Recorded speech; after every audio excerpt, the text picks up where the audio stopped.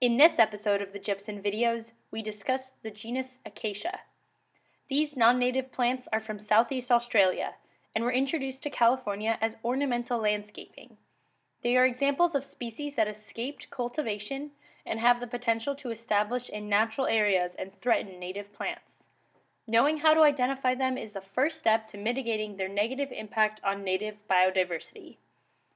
In California, acacias generally bloom from late January to early spring, and some of the species produce eye-catching displays of yellow.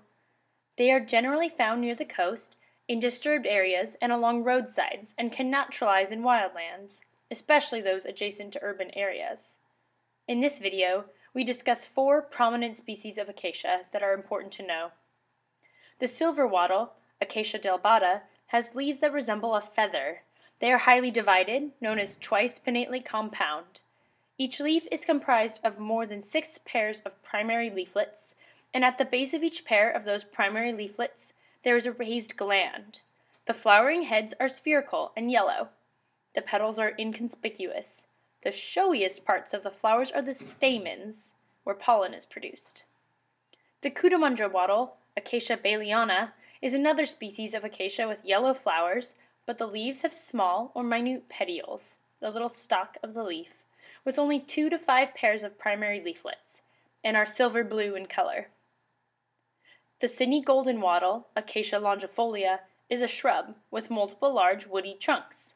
It has mature leaves that are simple, not divided in containing leaflets, with one or more prominent veins. The flowers are in spikes, appearing along an elongated axis. The blackwood acacia, Acacia melanoxylon, is a fast-growing tree, generally with one trunk. The mature leaves are simple, but look closely and you will occasionally find some leaves that are divided or compound. The flowers of the blackwood acacia are in spherical heads and are cream-colored, another character that helps identify this species. While these acacia species may seem attractive to gardeners, they are best avoided. For more information about invasive acacia species, check out the California Invasive Plant Council Invasive Plant Inventory, which categorizes plants that threaten natural areas. See the description for a link to their database. Thanks for watching, and please stay tuned for more Jepson videos.